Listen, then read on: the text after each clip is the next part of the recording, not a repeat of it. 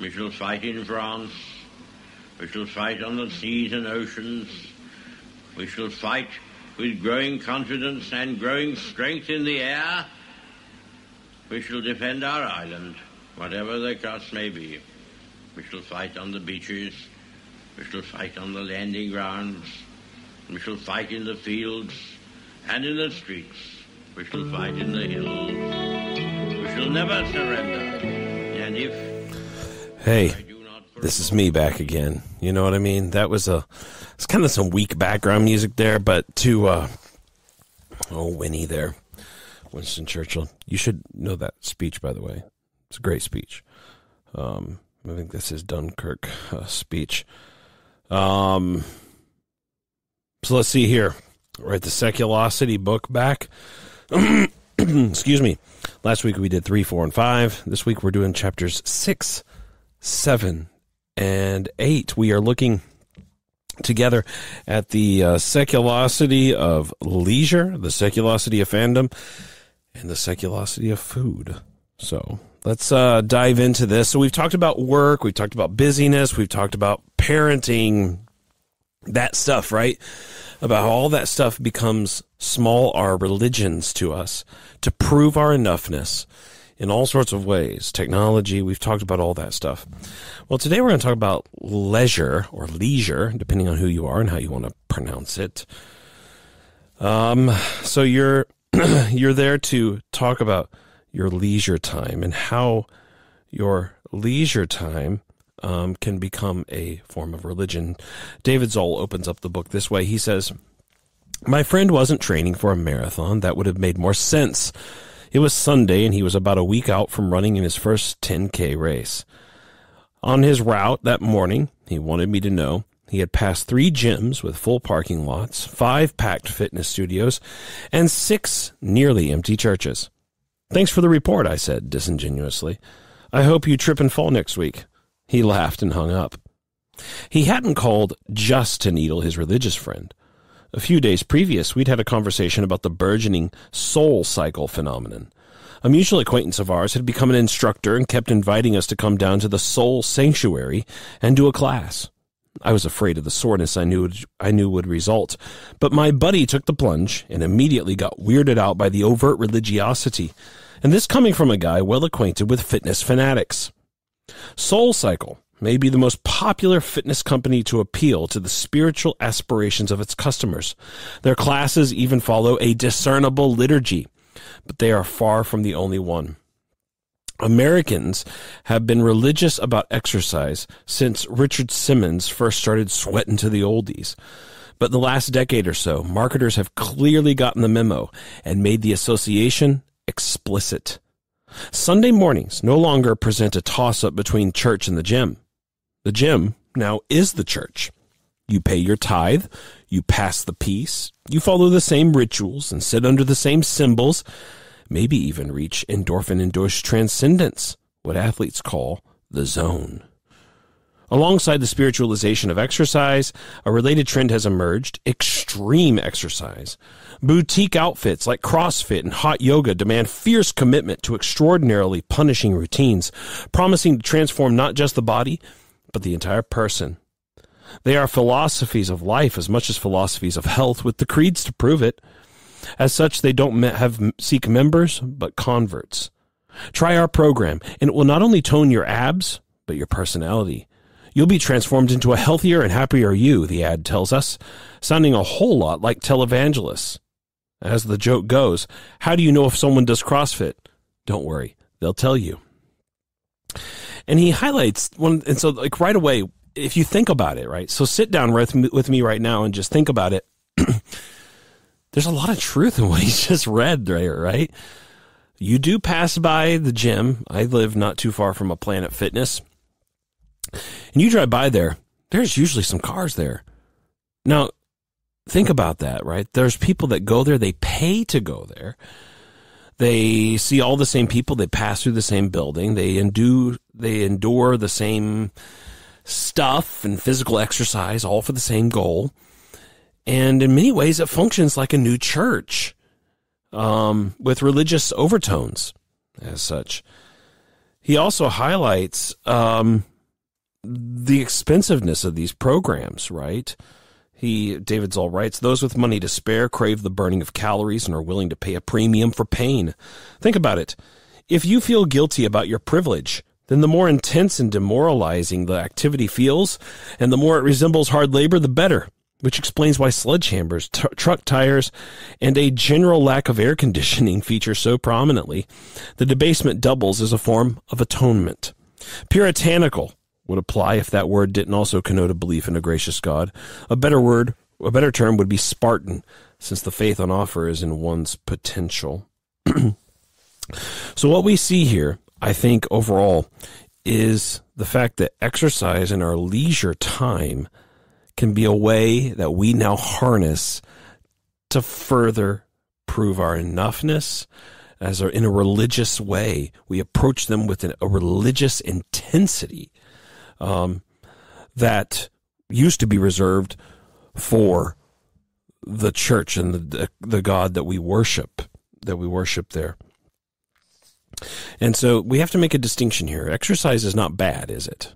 Right? Exercise is something that's good. Um, but exercise as something that is good is different, as Zahl points out, from exercise that we're using to save us. So if we're using exercise to save us, and by save us, I mean um, improve our, excuse me, I got stuff in my throat. to improve um, in our own eyes who we are, to show to others who we are. Um, that's wrong, isn't it? Um, so this is what we're talking about with it. We're using all of these leisure activities um, in order to prove and to, to change and to progress and to transform ourselves.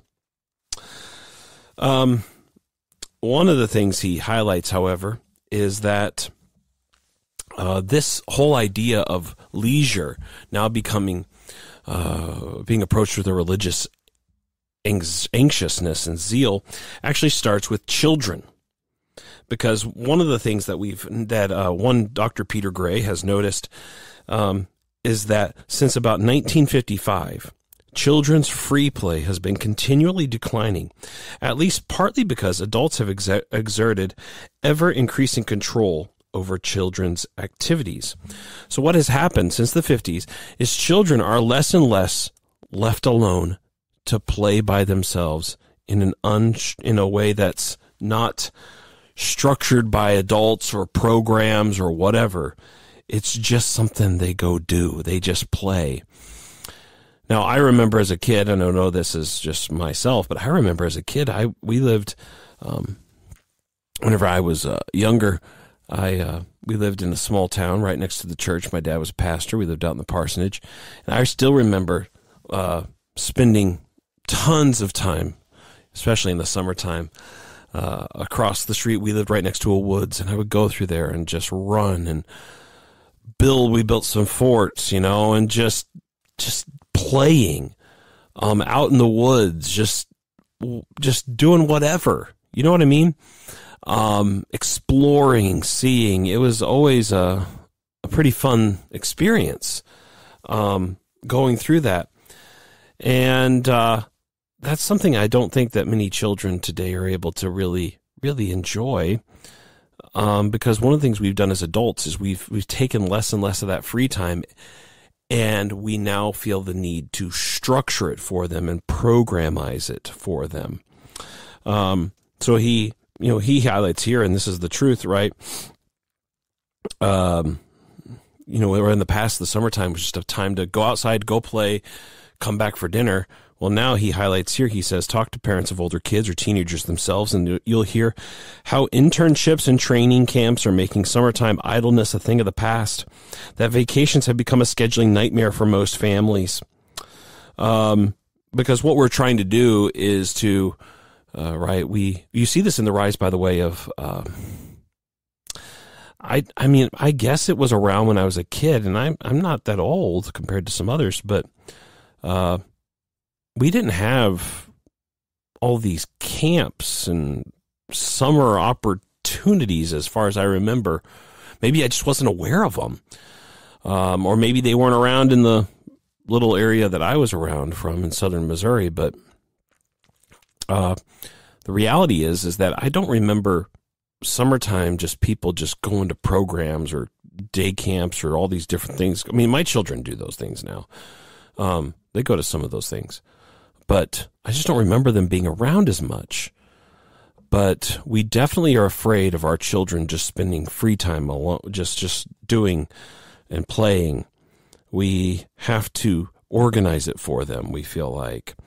Um, so what she says here eventually um, one psychologist has pointed out the cost of this relentless drive to perform at unrealistically high levels is a generation of kids who resemble nothing so much as trauma victims. So what we've done is we've actually pushed and pushed and pushed and pushed and pushed these children so much in all sorts of ways that now they're they're actually she's this lady says they're actually kind of like trauma victims because we've set such high expectations. They can't just go and play outside. We have to uh, build up uh, programs for them. Um, and so he highlights this in the book, and I think that's a very very cutting critique. If I and you know especially as someone who's in the midst of parenting myself. Um, and so what happens though is so then on the other hand we say oh my goodness so the only way that we can then help people to so there's been some people right you might think well okay so we'll make a resurgence of play as david Zahl points out. Some people are saying well listen we need to get back to that. But you know the reason why? Is because what we have to do is we we start to use it to say well listen if they are able to play and do free play and we're less programized the results will be better. And so what he actually highlights here um, he says, play is no longer the enemy of efficiency or a willful alternative to work. It is another road to accomplishment, productive enough to warrant inclusion on the schedule of human affairs. The message is clear. Play well enough and you will increase your score. So, don't mess up, right? Because if you play well enough, your scores, your academic scores might be better. So let's go play. And actually, then it's no longer fun right? Because your your everything we look at is through this lens of productivity, efficiency, enoughness, climbing the ladder, doing better. And it actually destroys any enjoyment in the life that we have. Um, it's it's it's crazy. It's ludicrous. And so what we have around right now is he the next section here is called mindful of our productivity. Um, and so we we we uh, he talks a little bit about a, a, an effort to a thing called mindfulness um, that he talks about there some, uh, but he he talks about meditation being stressful um, because we have uh, competitive meditation. Because right now, this is what's funny, right? So they talk about meditation. He says, meditation has never been more stressful. The moment that mindfulness appeared to be working was the moment it became a target for seculosity. So, oh, you, there's actually apps that um, encourage you to compete for the longest streaks for meditation. Isn't that crazy? Um, there's a Pavlok, a company that sells electronic shocking devices to help people change their behavior. Suggest meditation is one of the top uses for its wristbands, which cost anywhere from $145 to $245. So what we're trying to do is it'll shock you if you don't do your meditation and you set yourself goals and so you keep going, go, go, be, be more productive. That's the goal. Um, it also means one of the things that happens is sleep becomes stressful in our society. Apparently, um, in 2014, the CDC declared that insomnia is an American epidemic in our healthcare. Um, and so people have all sorts of issues sleeping, but then they also now, the sleep industry is huge, isn't it? He highlights this because there's tons and tons of money. You can see that on the uh, TV commercials, right? They've got NFL commercials or commercials with NFL football players. They're laying on a bed saying, this is his sleep number bed, right? This is the, the bed that you need to get. If you want a full satisfied night of sleep, just like this guy, you need to go buy this. Um, and, uh, or get a, a, a Fitbit, right? So you can track, oh, look, my sleep was this good. It was this, that way, or the other thing. Um, and really help to help you, uh, to do this. Um, so sleep has become a big business.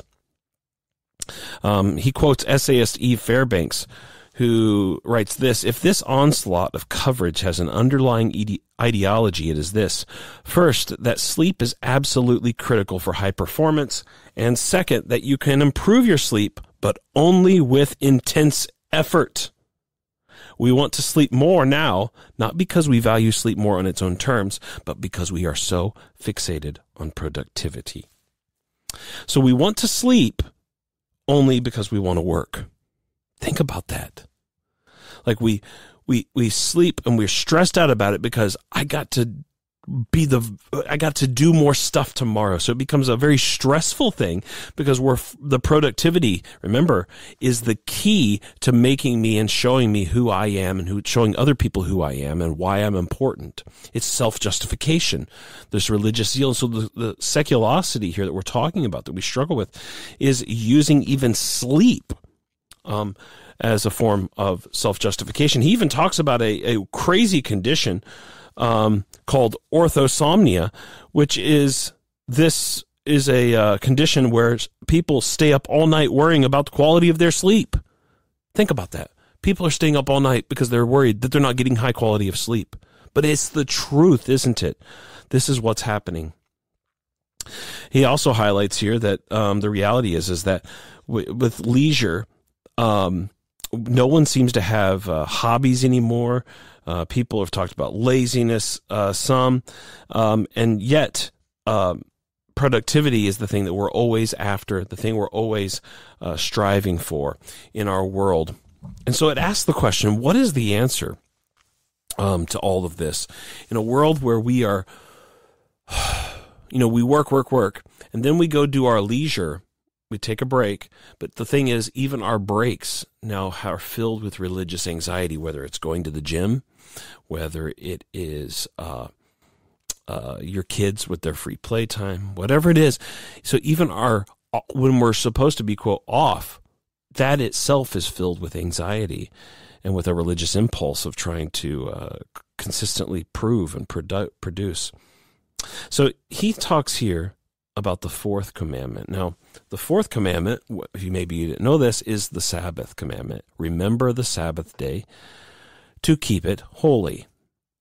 Now, I wonder how much you and I reflect on that commandment. We maybe think about the one about anger or honoring your parents, not lusting, not making idols, no, not cussing, the third commandment. But do we think about um, the fourth commandment? I found this to be one of the best, one of my favorite sections of the book because I thought it was extremely uh, convicting, but also um, hope filled for us as a church and as Christians. So he highlights this. Let me read this little section here. He says um, Walter Brueggemann, who's a theologian, considers the fourth commandment to be the most difficult and most urgent of commandments in our society. That's interesting.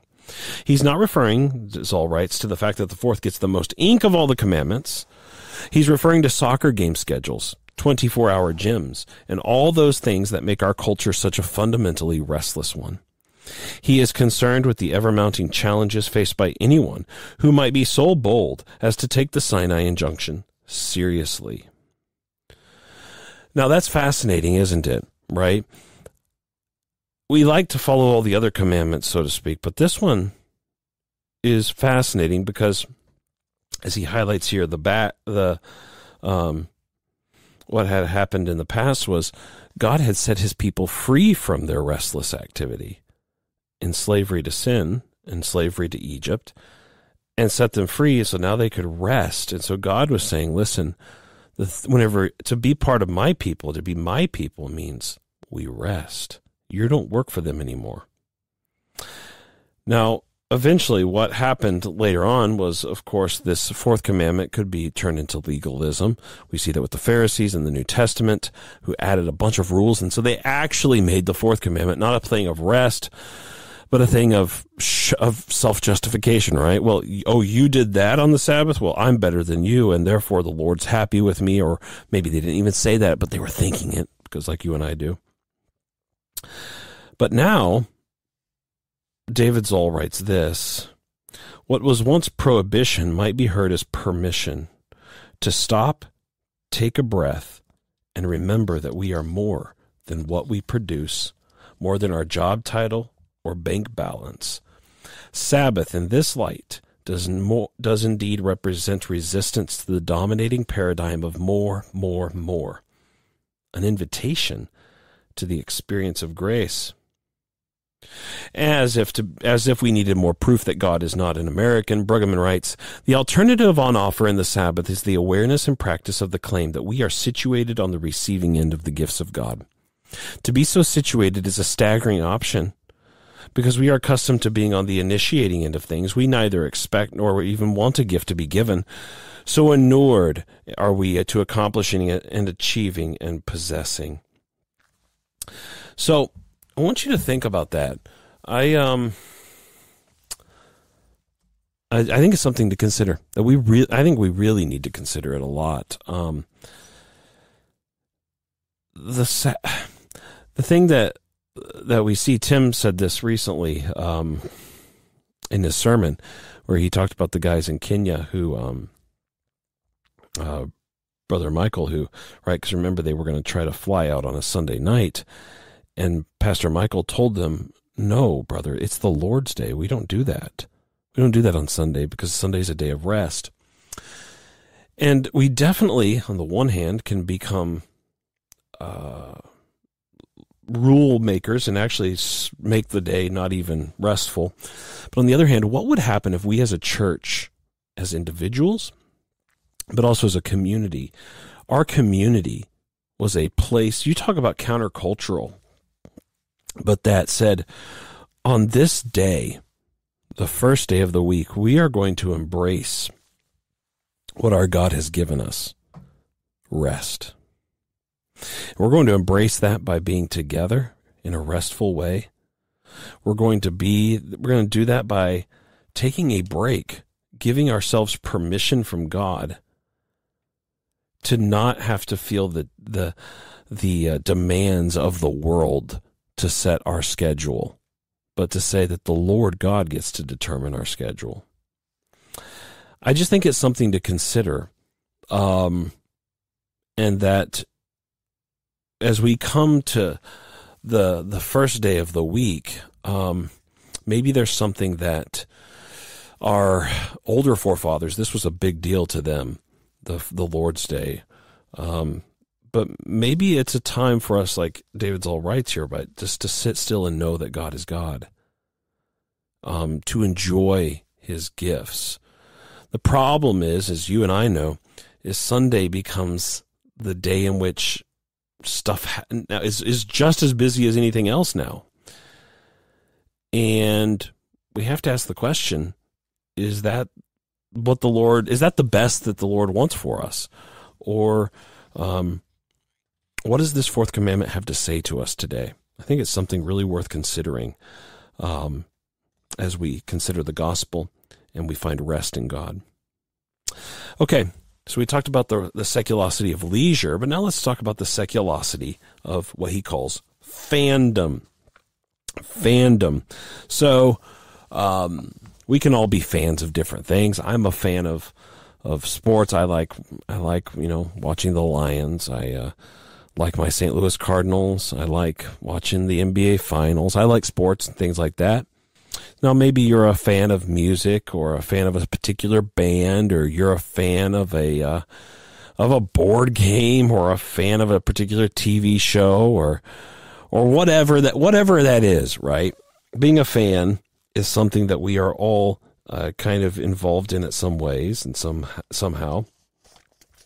Um, so what does this have to do with uh, seculosity? Well, what we can see here is that um, one of the things that can happen is that uh, being a fanatic can then become another way of exerting our religious impulse. Um, so let's think about this real quick. First of all, uh, the word fan. He says this, David Zahl writes, the religious element of fandom has been there from the beginning. The very word fan is short for fanatic, which comes from the Latin fanaticus, meaning of or belonging to the temple, a temple servant, a devotee. In a classical setting, a fanatic referred to a person in religious employ who got carried away with their devotion to a specific deity. So isn't that fascinating, by the way? The word fan actually comes from a religious context. It was later on described, uh, to, used to describe, uh, you know, baseball fans, people that were fans of that, and then now you got fans of music and sports, uh, history, whatever. You can be a fan of any number of of of stuff. But one of the things that actually can, um, I suppose it's a good thing that can happen with being a fan is like, for instance, if you're a fan of a particular sports team, it can actually help promote community of sorts um, with other people. Right? You can become you can get into relationships with uh, other people who share your common interest, and uh, and that can be a good thing. It can actually help bind people together, um, which again is a uh, a good thing. Um, and so, uh, being a fan can foster um, belonging. He he quotes here about the uh, San Diego Comic Con. Um, a guy who visited, he said this. One woman dressed as Thanos, the Marvel supervillain, told me that she got into comics after her parents died, since fantasy heroes are often orphans. An IBM art director said that she became a lost superfan after falling out of touch with college friends. At Comic Con, she met people who have become part of my family. Michael Asuncion, an aspiring psychotherapist, told me, gesturing to the crowds, there are three needs that all people have. They want to be seen, they want to be heard, and they want to be valued. That he that he was dressed as SpongeBob SquarePants did not dilute the insight. Um, yeah. He writes this. David Zahl keeps going here. He says, These accounts hint at why fandom fosters belonging so well. Like capital R religions and political parties, objects of fandom offer a shared story for people to inhabit together a story with its own values and vocabulary to bond over, full of excitement and drama. Um, what we're really after in much of this, right, is a story, uh, a hope, whether uh, you know, there's always like some kind of narrative um, that we're we're looking for in a, in the drama of being a fan. The reality is, as he points out, it's big business, right? There's even a a sports clothing company called Fanatics, right? Um, with a website, and you can go there and order stuff, right? So it's big business, and it it um, it actually has some good things, but also it can be a danger because it can become a source not only, as David Zahl writes, not only of of community but of identity, meaning, and redemption. So, um, what we see here, I think, throughout is is uh, as I'm trying to flip through the book here, as you can kind of see, I'm just kind of one of the things you might notice is that sometimes whenever I just start rumbling, I'm trying to get my thoughts together um, as we as we do this. Um, but you know, fans sometimes can take obviously um, take things too far, uh, and what it can actually happen, sadly, even with sports or music, people, whatever, is um, we might start to attack people who are like so you know um you know so when the cardinals win i win. If the lions ever win the super bowl as a newly minted detroit lions fan the past you know year or so really been into it um, and i think i've earned it i've been in michigan over a decade so just so you all know um, and my team left st louis the st louis rams are gone so i've i've earned it i believe um, you know, I win. If they win, I win. That's the feeling. There's like this vicarious thing that we feel, um, and such. But what can also happen is the way in which we approach this stuff, we also then can start to hate other people um, if we're not careful. Um, he talks about celebrity culture, um, which is uh, interesting because we could talk about the seculosity of celebrity. Um, celebrities are are interesting here because um, you know we've got all kinds of different people who are famous and but what happens is that we can become, we can look at those people and they talk about the practice of scapegoating. So he says uh, this Of course, if we all start to desire the same thing, the same truck, or the attention of the same person, a rivalry will naturally develop between us.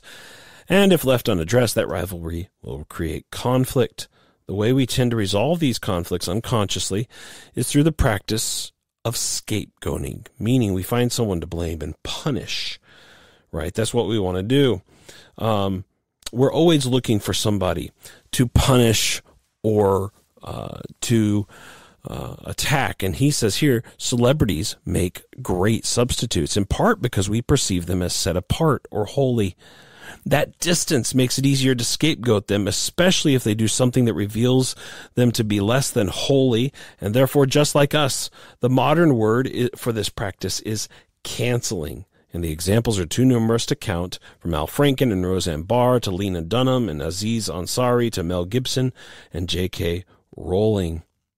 Cancel stars are generally boycotted, and depending on the level of infraction, we sometimes pretend they never existed. We send them to what a friend of mine calls secular hell. So what we do is we get rid of them because we want them away um, because they're easy to there there's a distance between them and us and so we use them we cancel them we attack them and it's actually in a way a form of of scapegoating um, when we do this he also talks about, um, uh, you know, uh, youth sports um, uh, and such. He says this um, if you have children between the ages of 8 and 18, on a Sunday morning, you're probably uh, spending those hours on the sideline of a suburban playing field, watching your child compete in sports, being a fan, in other words. Um, so even our own children uh, can become a source of this seculosity of fandom, right? We we use our children, particularly their sports uh, prowess, um, in, as a as a source of of um, highlighting our enoughness, um, and and all of those things, right? There, as he highlights here later on, their glory is our glory, their shame is is our shame, and so we we we look to all of these things for our enoughness, for our justification. Um, you know, lastly, here, I think we can see here in all of these ways. he has a really cool story about um, uh, Gregg Popovich, which is really cool. The, the, head coach of the San Antonio Spurs. Um, you should read that if you get the book. You should read it. It's a great story. Um, but the reality is here, um, Jesus offers us Himself in place of all of these other things that um, we use for our uh, finding and justifying ourselves through fandom. Lastly, I want to talk about food. Food. I love food. Who doesn't, right? Um, the seculosity of food. Now, you might be thinking this is a little funny. Why in the world are we talking about food as um, a religious thing? Well, first of all, let's stop real quick. Think about how did we fall in the uh, how did we fall into sin? I'm going to take a drink of water, and I want you to think about that. How did we fall into sin? We ate an apple. We ate a piece of fruit, right?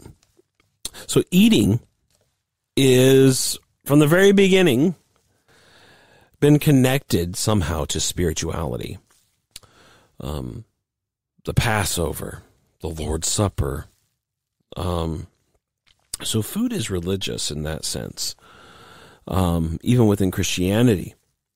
But here he's highlighting the way in which we use our food and our food choices, what we eat, what we don't eat, and we now have imposed upon ourselves these these rules, these codes upon us by which we want to again another way as you probably get tired of me saying it, but to prove ourselves to justify ourselves. Um, he highlights here um, much. Uh, he, yeah, I mean, he opens up with a, a great story from Jim Gaffigan, a, a humorless uh, joke, but or a humored a joke, but um, he says much of the moralism and anxiety that once surrounded the bedroom now focuses on the kitchen. David Zahl writes, "We talk about food today the way we used to talk about sex. The last time you used the word cheat, for instance, was it in reference to a broken vow or something you ate? I'll wager the latter. Um, he says the re- the shift is relatively recent. He says to my grandparents' generation, the way that we talk now talk about food, the amount we talk about it, is hard to fathom. They would have they may have witnessed the health food crazes of the 1970s and watched Julia Child on PBS, but nothing could have prepared them for the full-fledged religion of food we have today. So we see this right? And he t- talks about this right? With all the different channels we have we have 24 hour food channels. We've got shows galore all over about food food food food food. And i love food. I like to eat it.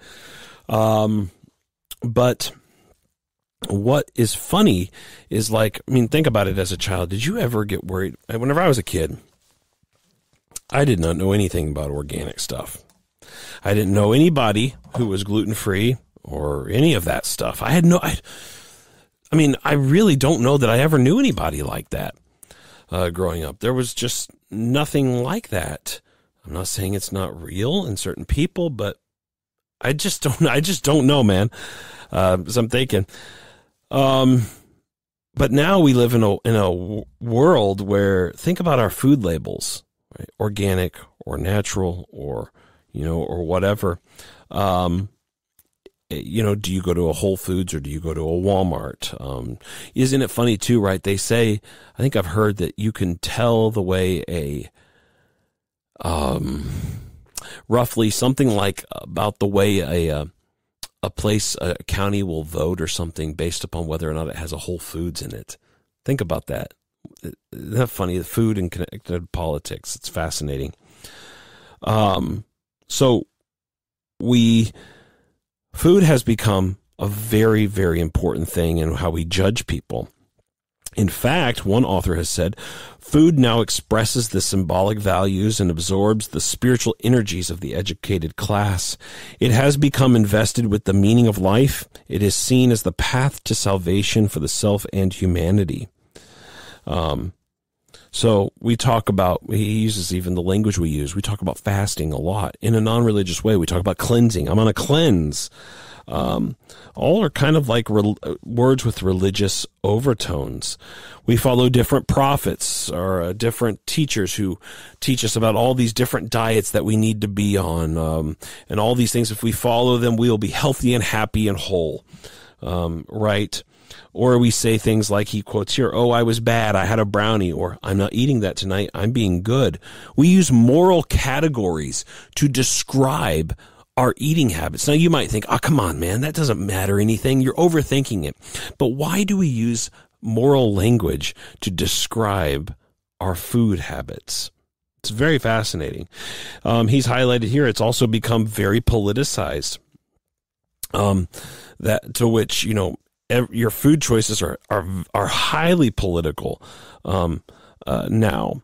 He says um, we feel judged about our food choices, and we are right to feel that way because we are being judged for our food choices. Um, he says, no wonder we apologize so often for what we eat. I'm sorry, I'm eating this right now. Please look the other way while I pound this burger. um, uh, so that is so true. He also highlights this. This is, um, I, I, guess you have to say, um, I think it's very true. Um, he says, yet we also feel love for our food choices. It used to be you knew someone if you knew what they liked to eat. Today, you know someone if you know what they cannot eat, their food allergies and dietary stipulations. Isn't that true? I mean, I I don't remember again. I'm I know I'm I've a very limited background. I, I get that, but I never remember growing up and anybody saying, "All right, now what what food allergies do you have, or what are your restrictions? What can you?" I mean, I get it. I'm from the sticks of rural Missouri, but that we did not have that. We had none of that um, uh, growing up, and maybe it was just. Uh, because I just grew up in a very backwards place. But I agree with that. I mean, it's so funny, right? It's so different today. Um, and some of it I don't want to say is un, is not true or not real. It is, but it is also something to where um, something a bigger shift has happened. I think in in many ways. than than the past. Um, so what we're now doing here is um, trying to eat the right way. He says there's actually a, an eating disorder on the rise called orthorexia nervosa, which literally means fixation on right eating. So this is how the uh, there's a National Eating Disorders Association describes this condition. Orthorexia starts out as an innocent attempt to eat more healthfully, but orthorexics become fixated on food quality and purity. Every day is a chance to eat right, be good, rise above others in dietary prowess, and self-punish if temptation wins, usually through stricter eating, fasts, and exercise. Self-esteem becomes wrapped up in the purity of orthorexic's diet, and they sometimes feel superior to, feel superior to others, especially in regard to food intake. So you actually do have people who are so concerned about what they eat. They actually have an eating disorder um, if that's not religious at some level, I don't know what is. Um, there, we are obsessed with this. Um, he also talks about the, uh, you know, the word, uh, the, the, the F word that he talks about in our society, F A T, fat. Um, because, and, and this is funny. I mean, all right, you know, I'm a bigger guy myself, right? Um, but this is a word that, uh, he he describes in the book as um as being uh, now really um, loaded with moral connotations um, in a sense. He says uh, we all want to avoid that one word of being called that. He says, um, oh, let me see where I can read here. Okay. He says this the self centeredness um, pales in comparison to the self righteousness. The moment I step on the scale and it registers less is the moment I reproach both my past self for being lazy and others for their failure to be as disciplined as I am.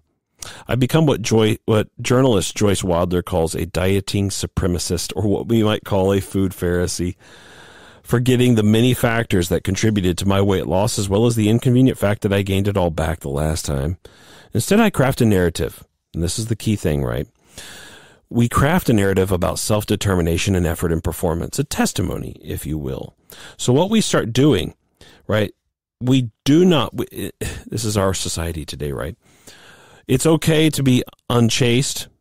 It's okay to be, you know, live, but, but no one wants to be overweight or described as fat.